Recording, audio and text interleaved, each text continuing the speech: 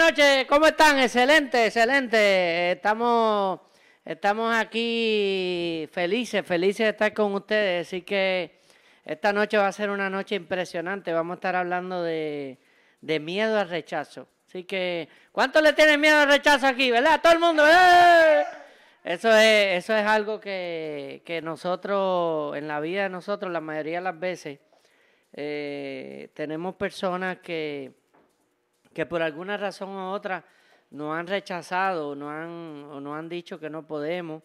Eh, yo creo que casi todo el mundo aquí tiene, tiene gente que, que siempre le ha dicho que no puede, que, que, está muy viejo, feo, cabezón, ¿verdad? Desde, desde que estamos en la escuela nos están diciendo tú no puedes, tú eres bruto, tú esto, tú lo otro. Y nos pasamos la vida eh, la gente creyéndola. Y inclusive muchas veces la gente de al lado de nosotros o la gente o los familiares, quizás las mismas, las mismas esposas, esposos, se pasan el tiempo diciéndole que a uno que, que no puede y eso eh, se va quedando ahí en la vida, se va quedando en la memoria de las personas.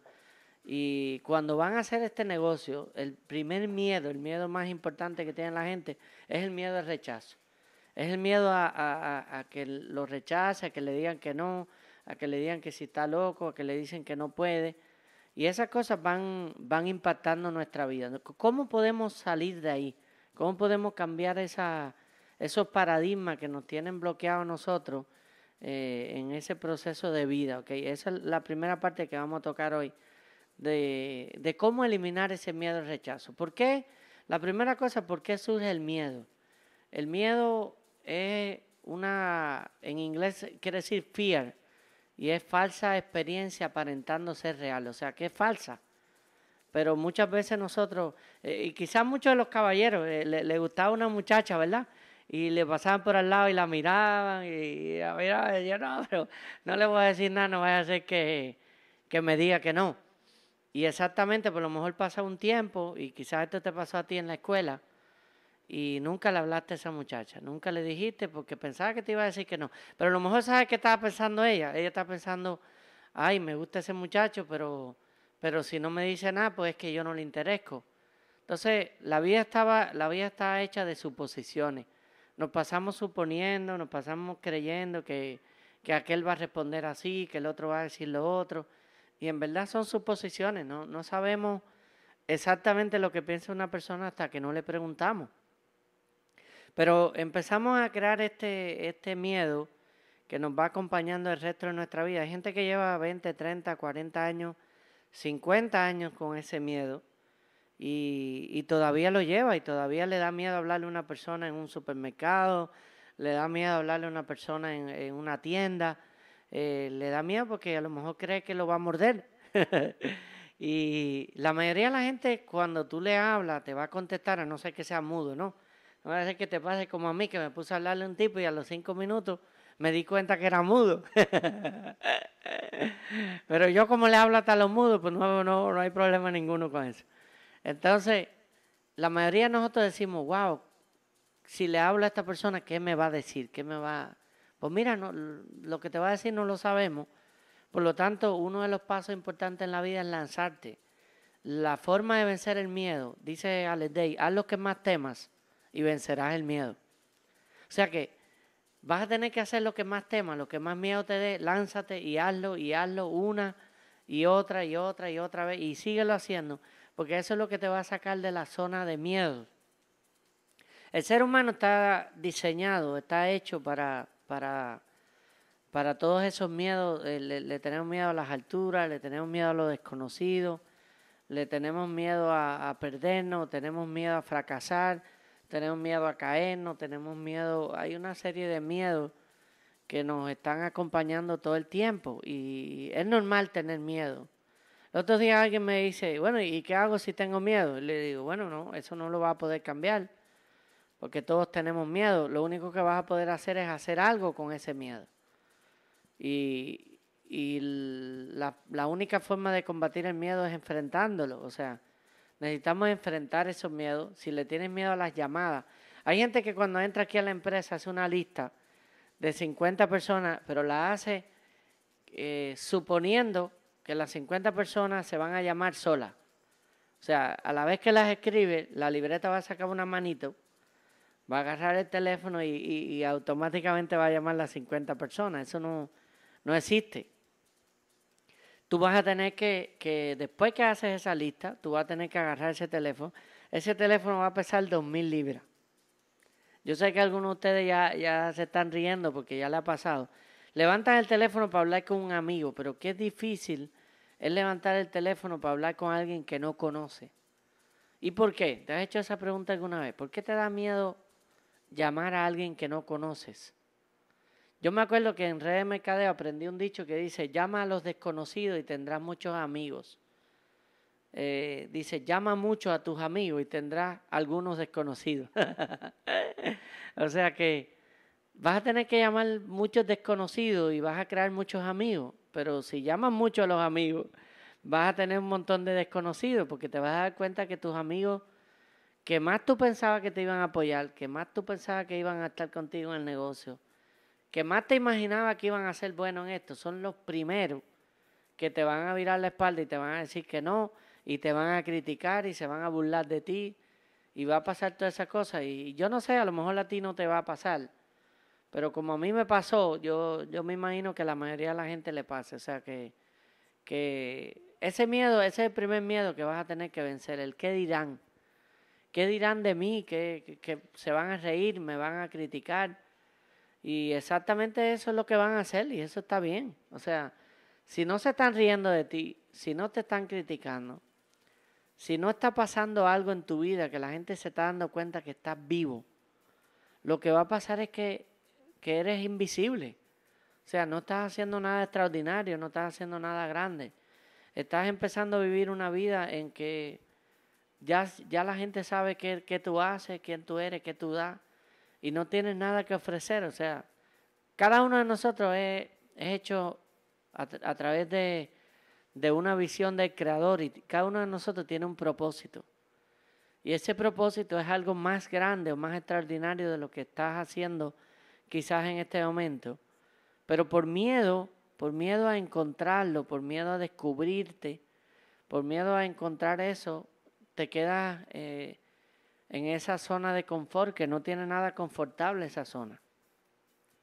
Los miedos, mientras más eh, te escondes de ellos, mientras más eh, le das la espalda a, eso, a esos miedos, más grandes se hacen. Mientras más tiempo pasa en que tú no haces esa llamada hoy y la dejas para mañana o la dejas para la semana que viene o la dejas para el mes que viene, más grande y más poderoso se hace ese sueño más tiene control sobre ti y sobre tus emociones. Por lo tanto, tienes que empezar a, cuando tengas un miedo, tu primer paso es quitarlo. Quitarlo. Y necesito quitar este miedo y voy a enfrentarlo, voy a, voy a, voy a pelear, voy a hacer lo que tenga que hacer para, para sobrepasarlo y para que no me venza, ¿ok? Esto, nosotros venimos con los miedos a través también de fracasos, a través de malas experiencias. O sea, muchos de nosotros hemos tenido malas experiencias. Es como cuando tú eh, sales y te das un golpe en la cabeza, eh, de ahí para adelante, los próximos días estás pensando en el otro golpe en la cabeza, ¿ok? Y eso pasa cuando tenemos fracasos, cuando tenemos, y estos no son fracasos, son experiencias de aprendizaje. Tienes que ver la vida como un laboratorio, donde ensayas, eh, hace las pruebas, eh, muchas cosas no funcionan, pero el científico en el laboratorio, cuando algo no funciona, no dice que no se puede hacer, simplemente dice, esta fórmula que usé no es la apropiada para conseguir los resultados que yo quiero. Pero eso no quiere decir que no se pueda hacer. O eso no quiere decir que ya porque yo fracasé 50 veces, ya, eh, ya, ya yo soy una persona mediocre. No tiene nada que ver lo que tú eres con lo que ha pasado en tu vida. Lo que ha pasado en tu vida son simplemente eventos que van a determinar cómo tú reaccionas a esos eventos, van a determinar quién tú eres. Pues si tú eres una persona que reacciona, ah, todo me sale mal, yo tengo mala suerte, este, eso funciona para otro, pero para mí no, yo, yo no sirvo para esto, eh, yo soy muy viejo ya, soy muy feo, soy cabezón, orejón, eh, yo no sé, muchas veces nos pasamos nuestro peor enemigo somos nosotros mismos. Eh, estaba leyendo los otros días un libro que decía, tenía un enemigo que mis pasos seguía. Todos mis planes, él me los destruía. Un día lo encontré y reclamé su cinismo. Le destapé la cara y me encontré a mí mismo. Nosotros mismos somos nuestro peor enemigo. Nosotros mismos somos las personas que nos criticamos, que, nos, que, estamos constantemente diciéndonos que, que, no podemos, que no, que no servimos, que no sabemos, que no aprendemos. Y dentro de nosotros está nuestro peor enemigo. Ese enemigo, ese inconsciente que ha ido eh, formando toda esa opinión negativa de nosotros, es el que tenemos que empezar a, confrontar y empezar a, transformar. Para eso eh, hay que tomar decisiones. La, vida está llena de decisiones y las personas que no toman decisiones tienen que tomar decisiones por obligación. O sea, eh, cuando alguien decide, yo estaba mirando las estadísticas de negocios los otros días en Estados Unidos, de cada 10 corporaciones que se abren el primer año, 9 fracasan. Hay nueve personas que se quedan con la mentalidad en su cabeza de que ellos no sirven. Porque automáticamente cuando tú fracasas, cuando tienes que cerrar un negocio que empieza, cuando tienes una idea y no se lleva a cabo, cuando tienes una idea y nadie te apoya, y quizás hasta tu esposo o tu esposa no te apoyan, y tú dejas esa idea y renuncias, el subconsciente registra fracaso. Y ese registro te persigue el resto de tu vida. Te va a perseguir constantemente, constantemente. Cada vez que vas a inventar algo nuevo, ahí viene el subconsciente y dice, acuérdate que ya te, te fracasaste una vez, acuérdate de esto, acuérdate de esto. Y viene esa vocecita, esa vocecita que le llaman nerdo, que viene y te vuelve a recordar todo lo malo que tú, que te ha pasado en tu vida. Si fuiste rechazado una vez, si fuiste rechazado dos veces, si has sido ignorado, si has sido... Eh, todas estas cosas que normalmente le pasan a todos los seres humanos en este proceso que se llama vida. Y muchas de, las personas lo, lo, anotan ahí en su vida como un evento trascendental. Y lo dejan ahí y lo persigue el resto de su vida. O sea, eso, eso es normal. La mayoría de la gente va a tener eso, esos miedos, esa inseguridad, esos paradigmas, esos frenos, porque esos, esos miedos se van convirtiendo en frenos y te van limitando a hacer todas las cosas que tú empiezas a creer que se pueden hacer a la edad de 18, 19, 20, a la edad de 25 años. De ahí para adelante empiezas a creer que todo es más difícil, que todo no se puede hacer, que todo cuesta mucho trabajo, que no hay cosas fáciles en la vida. Y empiezas a, a enfocarte en, las experiencias de la vida que son reales, porque no estamos hablando que son inventadas, son reales, pero son reales. O sea, lo, que es real depende de ti y depende de lo que tú creas que es real. La realidad no es la realidad, la realidad es lo que tú creas de la realidad. Por ejemplo, si tú crees que los otros días había una señora sentada en un evento y dice, yo no sirvo para esto. Y yo le digo, señor, usted no sirve. Y dice, ¿por qué usted lo dice? Y digo, usted misma lo dijo. Dice, ah, ¿verdad? O sea que, imagínate que ella misma está diciendo que no sirve. O sea que ella misma ya está declarando que no sirve y todavía espera que yo le diga que sirve. O sea que, que si usted mismo ya declara que usted no sirve, que usted no puede, que eso de, de, de tratar con la gente no es para usted, de que usted no sirve para vender. Yo oigo mucha gente diciendo, ay, pero es que ese, ese, eh, esa persona es un, eh, un, buen vendedor porque él nació así. Yo nunca he visto en los hospitales que dicen, ay, salió un niño vendedor, mira, va, va a estar en la cuna 7. Ahí hay un niño vendedor y acá hay un niño electricista en la, la cuna 5. o sea, no, no existe.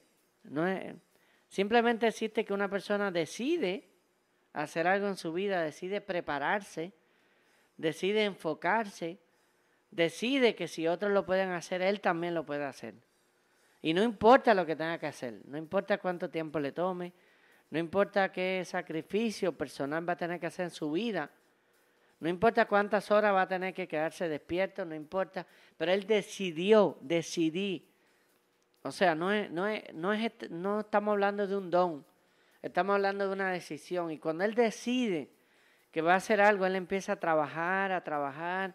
Esos cientos de pequeños detalles de lectura, de escuchar CD, de leer libros, de ir a seminarios, de pasar talleres de transformación, de pasar toda esa, eh, todos esos pequeños sacrificios, esos pequeños esfuerzos, hasta que él logre los resultados que él se propuso lograr. O sea, estamos hablando de, de, una decisión, no estamos hablando de un don o de una cualidad. Conoce gente que tiene muchas cualidades y terminan sin nada. O sea, no aplican las cosas en su vida. La vida les pasa y, no tienen una visión, un objetivo. ¿Conocen? La mayoría ustedes estoy seguro que conoce gente así. O sea, la, vida no está hecha para las personas inteligentes, no está hecha para las personas eh, con dones, no está, está hecha para las personas que deciden, que se enfocan. Tienes que tener un enfoque en lo que tú quieres. Lo que tú quieres no es exactamente como tú quieres, no se va a dar exactamente como tú quieres, no va a ser como tú piensas. Eh, la mayoría de las veces nosotros tenemos una idea y la, y la realidad es completamente diferente a las ideas. Pero te digo algo, eso está perfecto, porque imagínate qué aburrido fuera que todas las cosas se dieran como tú piensas que fuera. Y muchas veces yo me pongo a hablar con la gente en el negocio y mucha gente me dice, Fran, pero esto no es fácil, eh, esto, eh, la gente es informal, la gente queda mal, la gente es esto, la, gente no, me dice que va y no va, se motivan y se desmotivan y le digo, oye, eh, la gente es como tú. Y se queda, wow, pero ¿y, por qué como yo? Porque así mismo eres tú, lo que pasa es que no hay nadie mirándote. Entonces tú no te ves, pero la gente es exactamente como eres tú. Ahora, si tú cambias, la gente cambia. Y, mira cómo funciona esto. ¿Por qué si tú cambias, la gente cambia? Porque si tú cambias la forma de ver la gente, empieza a encontrar la gente que no es como tú eras. Pero si tú eres informal, si tú eres queda mal, si tú no eres tu palabra, si tú te motivas y te desmotivas, si tú no eres una persona que, está enfocada en tu visión, si tú no te mantienes enfocada en tus sueños, la gente es exactamente igual que tú. Pero si tú cambias y empiezas a ser una persona positiva, enfocada, una persona eh, que no se rinde, una persona trabajadora, una persona que siempre está entusiasmada, que siempre está mirando sus sueños, que nada lo detiene. Empiezas a encontrar a tu lado la gente que empieza a ser igual que tú. Porque tú eres exactamente lo mismo, lo, mismo, tú eres exactamente lo mismo que tú crees que eres. Porque no es lo que tú eres, es lo que tú crees que eres. Si tú crees que tú eres una persona eh, exitosa, vas a ser exitoso. Si tú crees que eres un fracasado, vas a ser un fracasado. Este, este niño eh, iba con el papá y iban hacia una montaña y el papá, en una de esos, el papá se retira un poco y el niño lo llama y le dice, papá. Y en esa montaña se oye un eco que dice, papá, papá, papá, papá, papá. Y el niño se queda asombrado y dice, ¿qué es eso? Papá, ¿qué es eso? Y se seguía oyendo el eco, ¿qué es eso? ¿Qué es eso? ¿Qué es eso? Y él estaba asustado, ¿sabes cómo se ponen los niños? Y él dice, pero ¿qué es lo que está pasando aquí? Le dice, eh, no te preocupes, hijo, así como es, esta montaña que repite lo que dices, así es la vida. Te devuelve hacia atrás exactamente lo que digas de ella. ¿Qué, enseñanza o qué experiencia tiene el eco? la vida es un eco. Te repite exactamente lo que tú piensas de ella. Si piensas que la gente es exitosa, te vas a encontrar gente exitosa. Si piensas que la gente es, eh, eh, la gente buena, te vas a encontrar gente buena. Si crees que la gente es mala, te vas a encontrar gente mala. Porque tú te vas a convertir en un imán para atraer a tu vida exactamente, exactamente lo que eres. Me acuerdo que una persona me dice un día, mira Fran, todo toda la gente en mi equipo son unos vagos. Y yo le digo, te duplicaste, hermano. este es un negocio de duplicación. Sacaste exactamente lo que eres.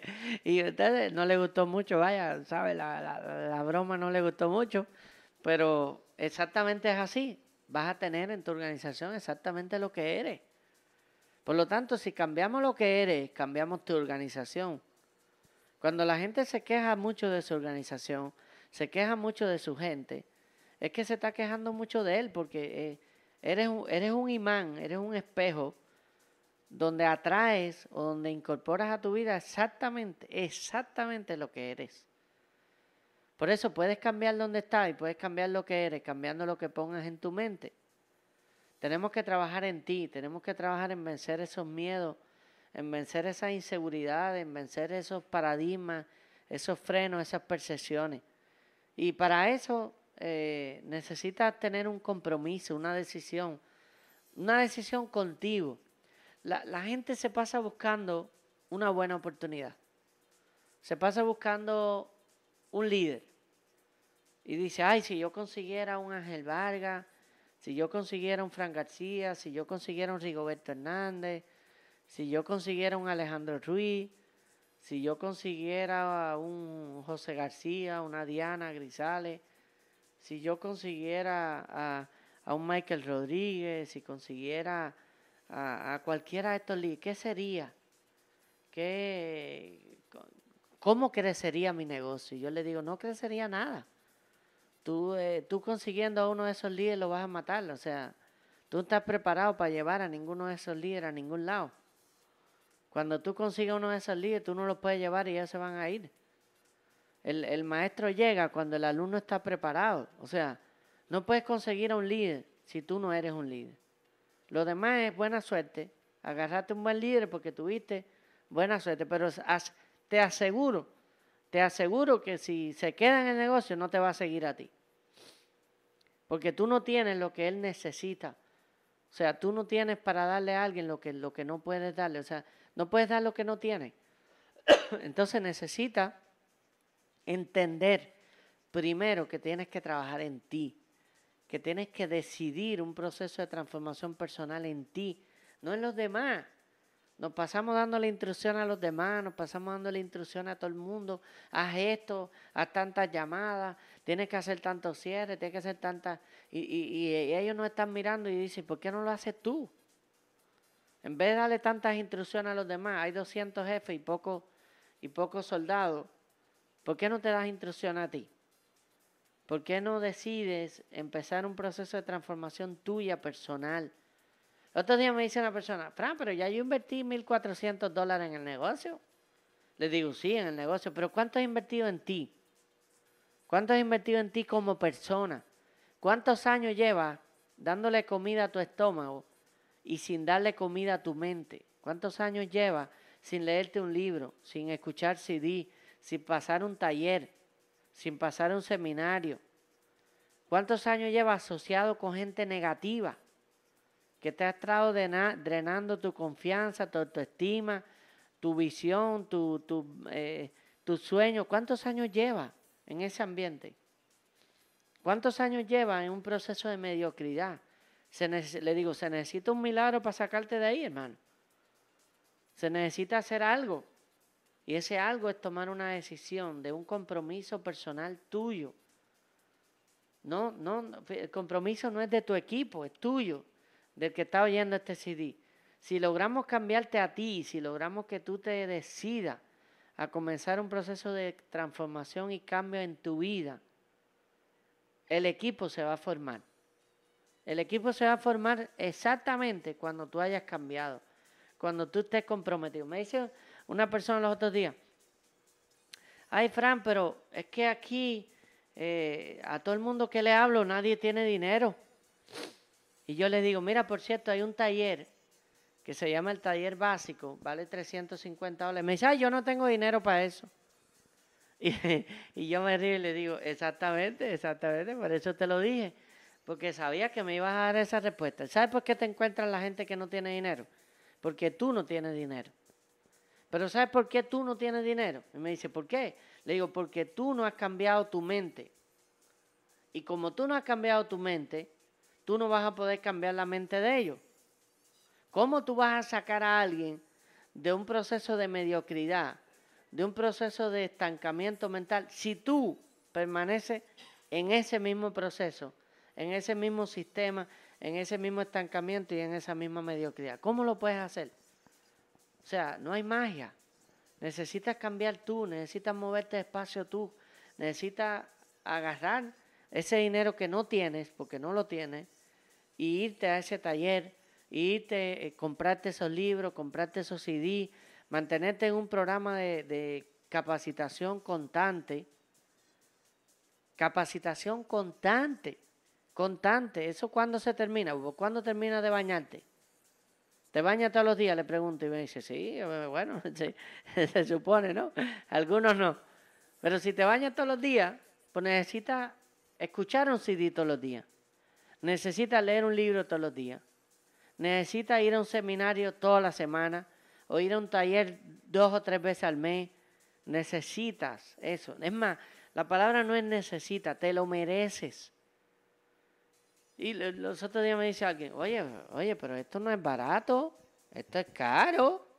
Y le digo, sí, sí. Y sabe que le digo, ¿sabes qué es más caro? Es más caro ser pobre. Es más caro ser mediocre. Es más caro levantarte por la mañana ir a un trabajo que tú no quieres ir. Ir a, ir a verle la cara a un jefe que tú odias. Ir a, ver, ir a compartir tu vida con unos compañeros de trabajo chismosos y envidiosos que están esperando que tú dejes un resbalón para ellos agarrar el puesto tuyo. Es más, es más triste, es más difícil pasarte 8 o 10 horas en un lugar para darle tu inteligencia, tu capacidad y tu energía a otro, para no llegar a ningún lugar. Es más difícil caminar 8 o 10 horas diarias para un lugar que tú no quieres ir. O es más, para ningún lugar. Para hacerle los sueños realidad a otro. ¿Tú no te parece que es más difícil? ¿No te parece que es más caro vivir una vida de escasez? Donde toda la semana estás mirando si te alcanza para pagar la renta, si te alcanza para pagar el carro, si puedes comprarte esto o no, si le puedes comprar esto a tus hijos o no, si te puedes dar las vacaciones que quieres o no. ¿No te parece que es más caro eso? ¿No te parece que es más caro no invertir en ti? decía Benjamin Franklin, vacía tus bolsillos en tu mente que tu mente llenará tus bolsillos.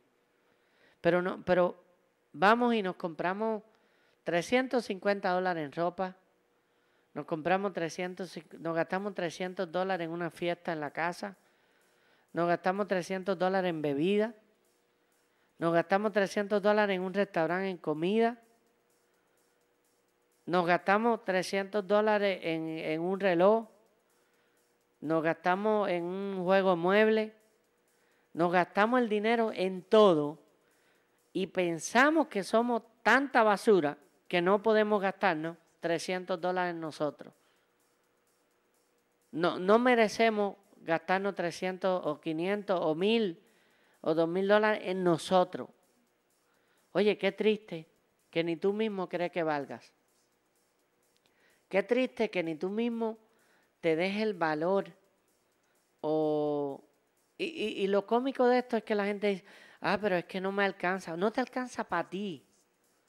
O sea, le pagas el carro, la casa, le pagas a todo el mundo, le haces los sueños a todo el mundo. Y para ti, para ti, tú vales tan poco, no eres tan importante, que no hay 350 dólares, no hay 800 dólares. Y la gente, mucha gente me dice, Fran, pero es que hay que entender, hay que ser realista. Le digo, sí, por eso es que, estamos jodidos todos, porque somos realistas. Eh, no, no hay que ser realista, hay que ser soñador. Hay que ser soñador, enfocado en una visión, en, un, ese sueño. Hay que ponerle un plan de acción, porque si no vas a ser un fantasioso.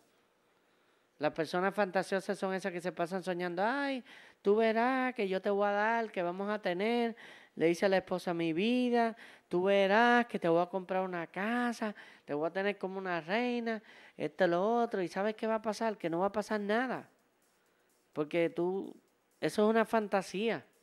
Eh, eh, un sueño debe tener incorporado un plan de acción diario, diariamente. La mayoría de la gente está más dispuesta a comprometerse a un empleo que a comprometerse a transformar su vida. La mayoría de la gente se levanta por la mañana con sueño y va a trabajar para otro. Pero ¿sabes qué?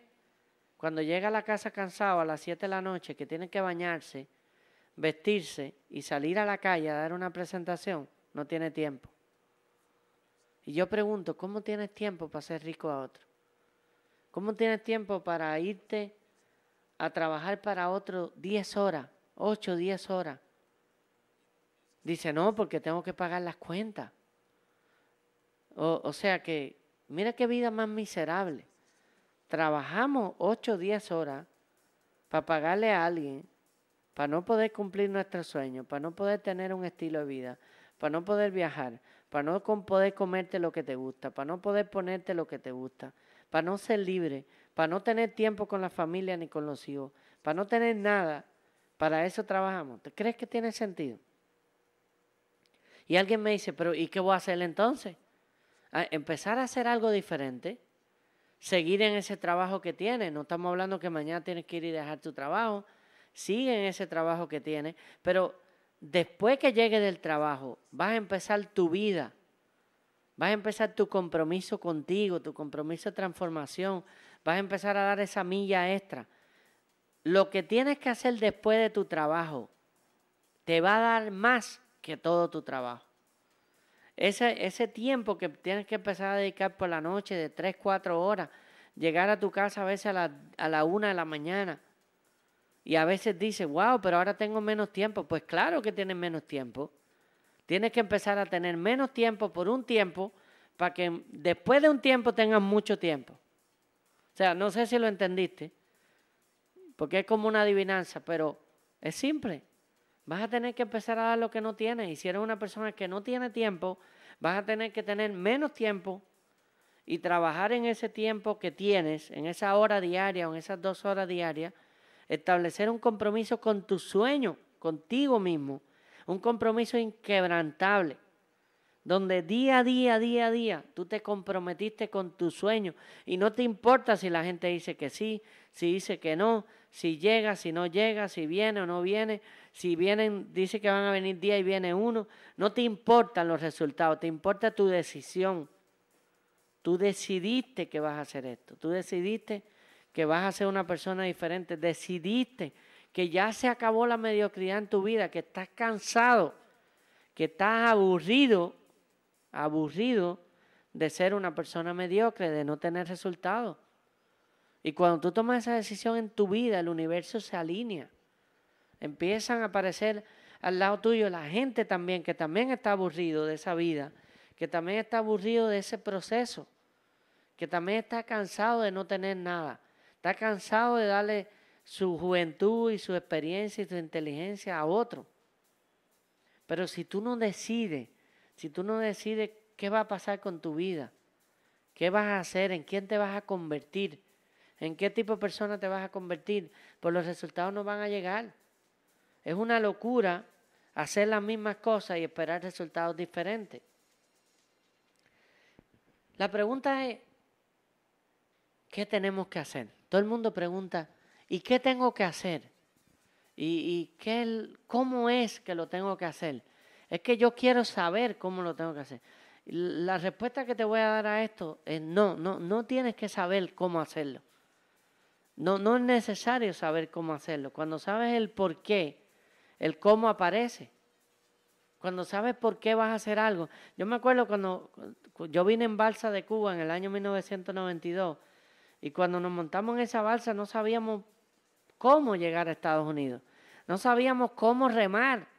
No sabíamos cómo ubicarnos. No sabíamos cómo funciona el oleaje. No sabíamos cómo funcionan las corrientes. No sabíamos cómo funciona nada. Pero sabíamos por qué hacerlo. Sabíamos el por qué.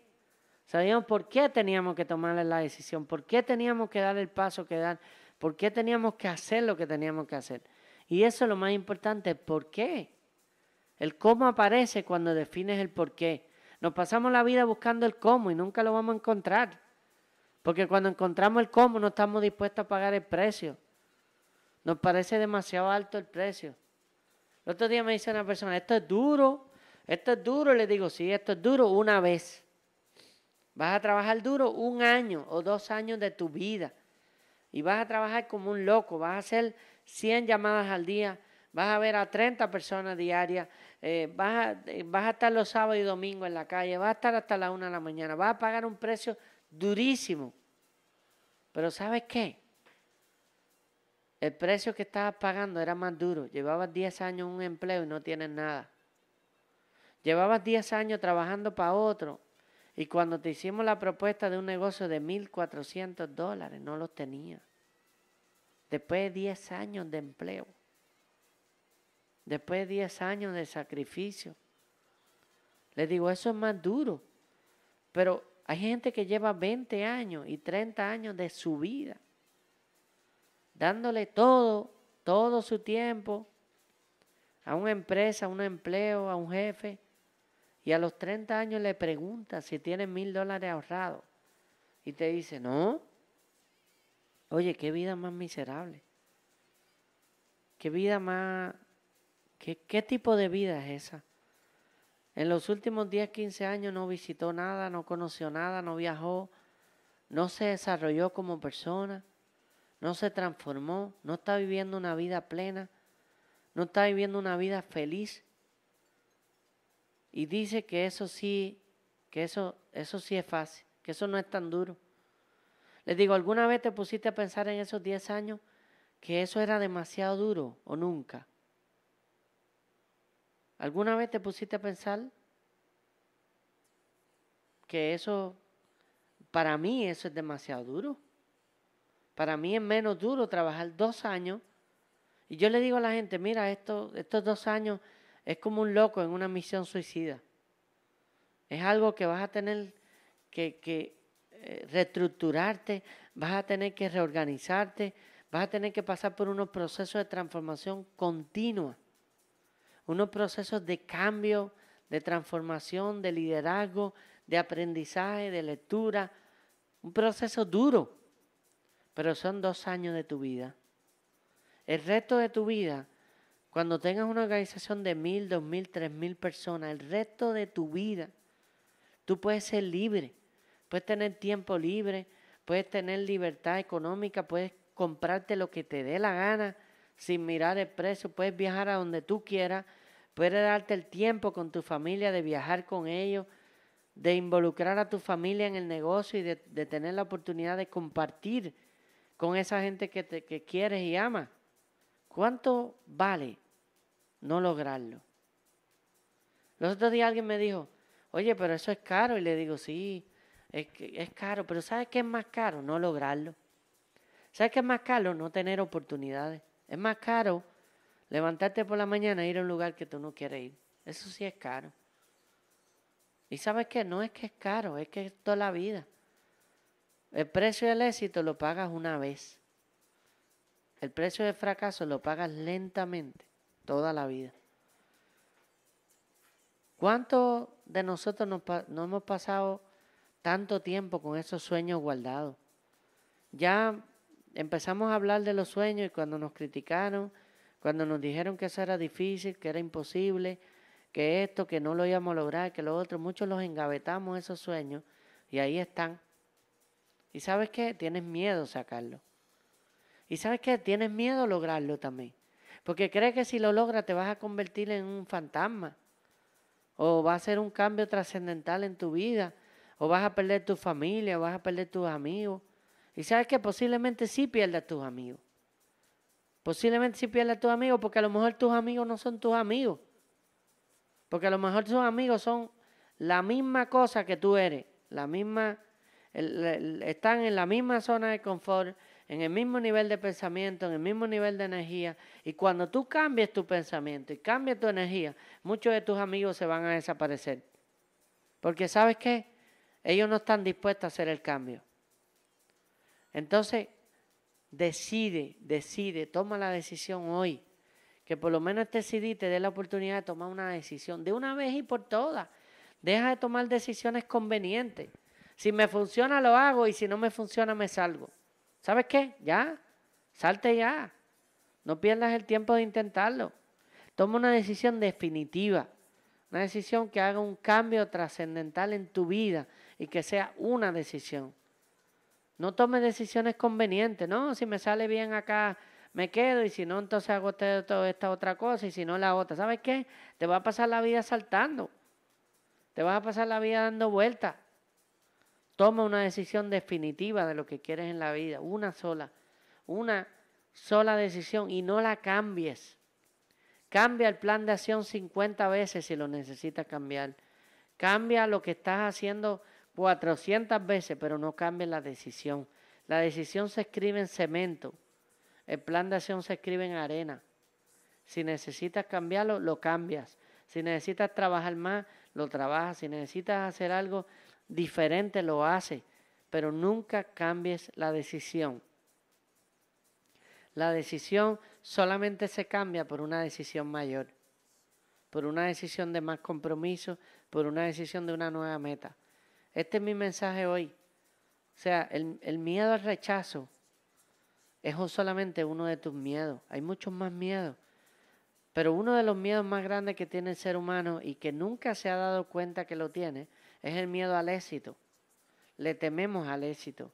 Creemos que el éxito viene ligado con, con, la destrucción de la familia, del matrimonio, de todas esas cosas. ¿Y sabes qué?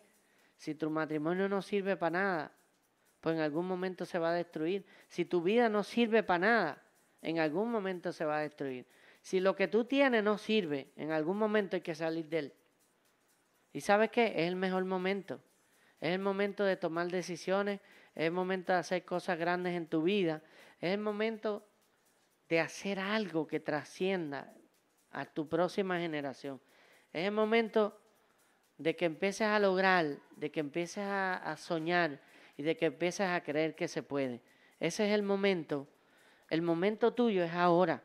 No empieces a decir que mañana, que después, que quizás, que tal vez. Es ahora. Ahora es el momento de tomar la decisión. Ahora es el momento de que, de que Dios te dio la oportunidad del cambio de hacer algo diferente en tu vida, de hacer algo que te mueva, que cuando tus hijos en los próximos 10, 15 años se sienten a hablar de su papá o de su mamá, digan, estoy orgulloso, porque mi padre hizo lo que tenía que hacer en el momento que lo tenía que hacer. Ese es mi consejo hoy. Buena, buenas noches, Dios lo bendiga y hacia adelante, hacia adelante en la cima del éxito. El éxito es la realización progresiva de un sueño un sueño que valga la pena. Y eso es lo que tú necesitas, eso es lo que tú mereces, un sueño que valga la pena, que te desarrolle y que te, te crea una mejor persona. Muchas gracias y Dios lo bendiga.